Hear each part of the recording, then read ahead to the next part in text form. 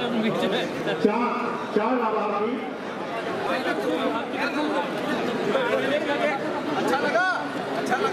सभागार में सभी लोग शांति बनाए रखें अपने स्थान पर बैठ जाएँ कार्यक्रम जारी रहेगा। उद्योग विभाग के बाद दिव्यांगजन सशक्तिकरण। आज सहारनपुर जनपद में उत्तर प्रदेश में मेरे हिसाब से पहली बार लाभार्थी मेले का आयोजन किया गया है।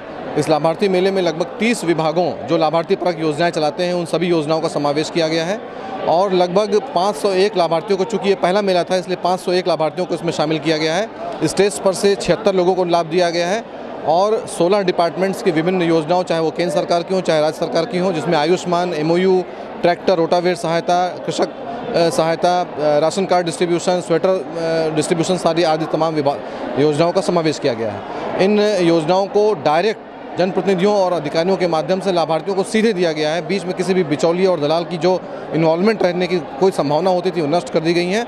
आगे से हम प्रयास ये करेंगे कि लगभग हर महीने तहसील और ब्लॉक स्तर पर भी ये लाभार्थी मेले का आयोजन किया जाए। केंद्र और प्रदेश सरकारों की विभिन्न योजनाओं में अ, के माध्यम से जिस प्रकार से जनता को लाभान्वित किया जा रहा है, आज उसी परिप्रेक्ष्य में एक लाभार्थी मेले का आयोजन सहारनपुर जनपद में किया गया है और इसमें सभी योजनाओं के लाभार्थियों को चाहे प्रधानमंत्री आवास योजना हो चाहे सौभाग्य योजना हो, चाहे बच्चों को यूनिफॉर्म देने की बात हो, चाहे हमारे दिव्यांग भाइयों बहनों को ट्राइसिकल देने की बात हो, सभी योजनाओं के अंतर्गत लाभार्थियों को उन, वो यंत्र भी दिए गए हैं और लाभ भी दिए गए हैं।